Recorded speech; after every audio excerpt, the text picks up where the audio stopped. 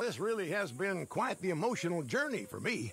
From self-indulgence to self-discipline. You must be so proud of me. anyway, talking of journeys, we have some buyers lined up. They ain't local, but they pay well. So go make me proud too, partner.